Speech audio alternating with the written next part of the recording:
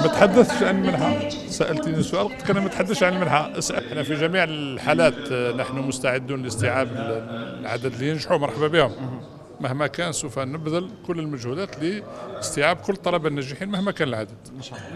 حتى ولو روحوا ل 12 تعليم الجامعات التي ستجد نفسها عندها ضغط مسموح لها تروح إلى إلى ما شاء الله.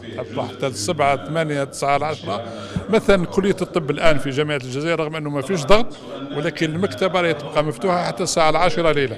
والله لا أستطيع أن أتحدث عن الموضوع لأن أول ما عنديش معطيات كاملة.